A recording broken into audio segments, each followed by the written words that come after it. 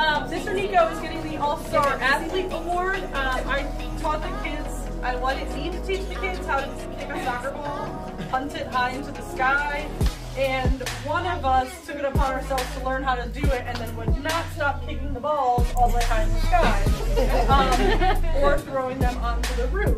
So, Nico here is getting our All- All-Star Athlete Award um, for just, you know, following in Miss Jenna's bad example of stop speeding and. So, Mr. Nick, go to kindergarten or no, you're going to stay with forever?